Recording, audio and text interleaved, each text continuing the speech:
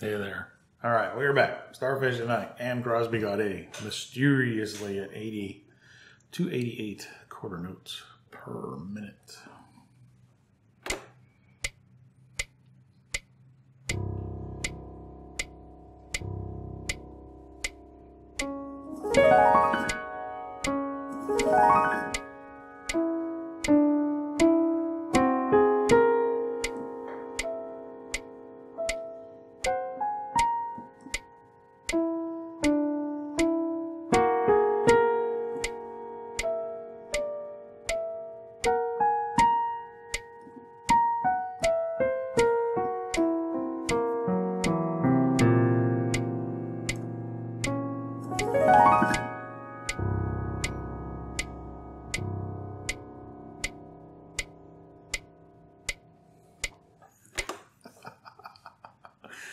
So clearly, I'm butchering that because it does not. It doesn't feel musical to me. It just. It just doesn't. I know I'm terrible at this.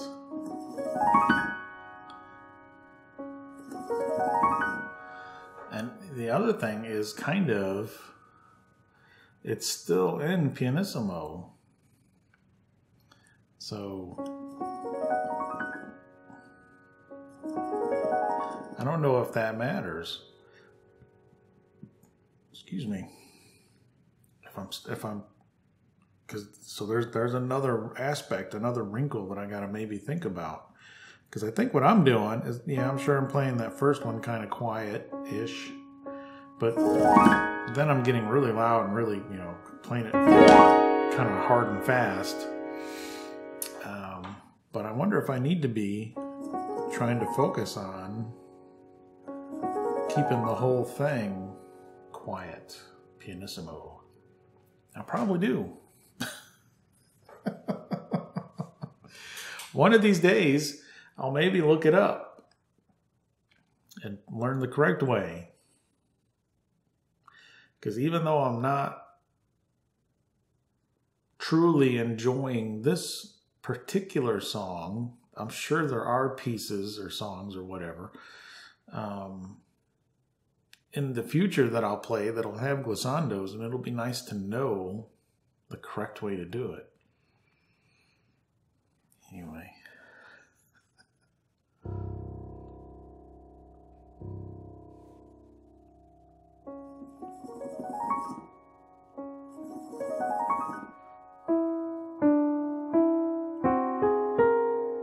And then the other thing I'm trying to do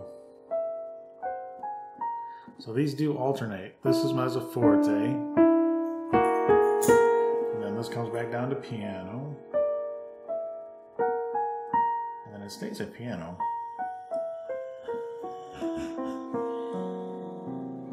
Which can be a challenge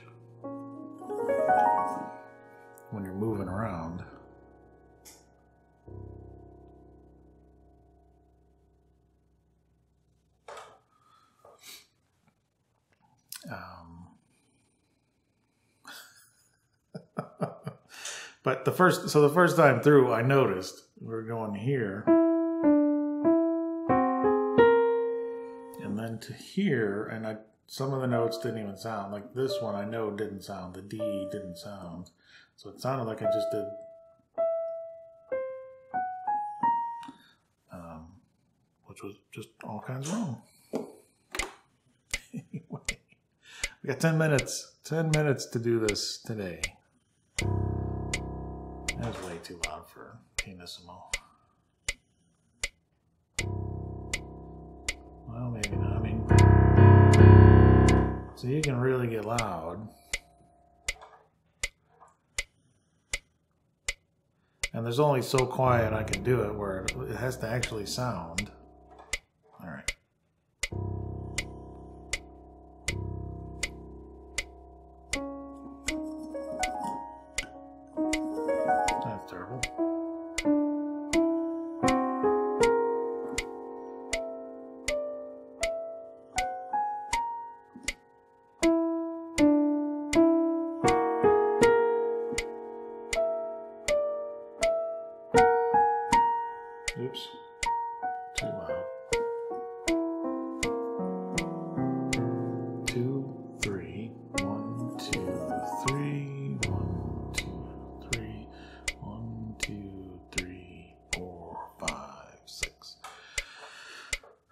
So I do one, two, three, four, five, six, because it is a fermata. And with the click, the kind of cheaty shorthand way to do that is just double the note value. And it's a dotted half note, so three, one, two, three, and then the fermata, one, two, three again. I guess.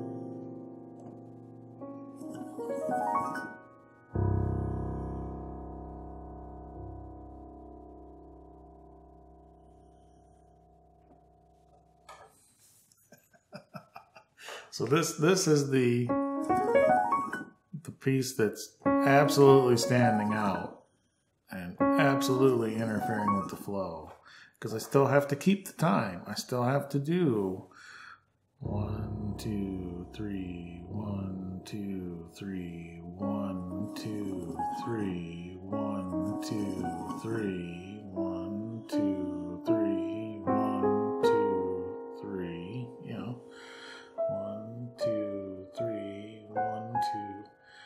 Uh, it's an eighth note, and I'm not counting eighths, but I should still be able to do it. One, two, three, one, two, three, one, two, three, one, two. No. One, two, three. One,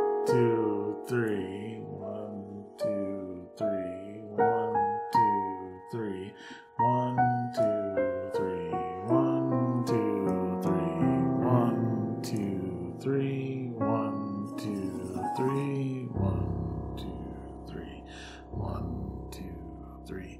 Four, five, six. I think part of it too is I'm not, I didn't strategically position my seat um, so I could come over here a little easier. Especially when the third note is a, or the fourth note is a C. It's a little bit easier this one when it is a, that should be an A sharp, but is it an A sharp?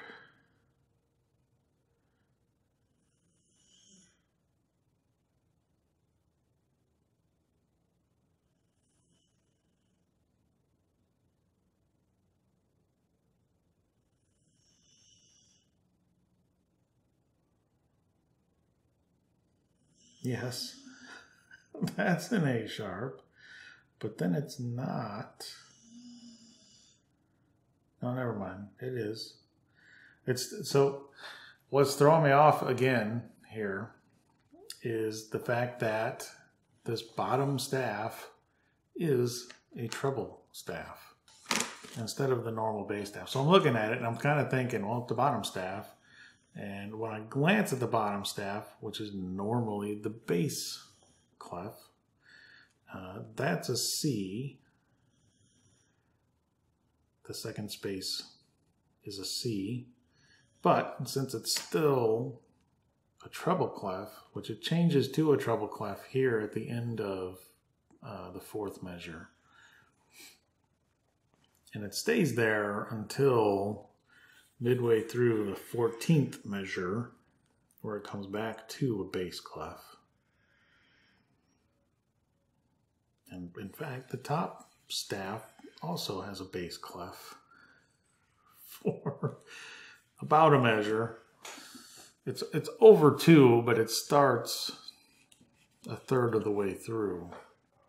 Um, measure 14. Anyway, how about that? We made it to 10 minutes. Anyway, thank you very much for watching. I hope you have a great day. Hoorah.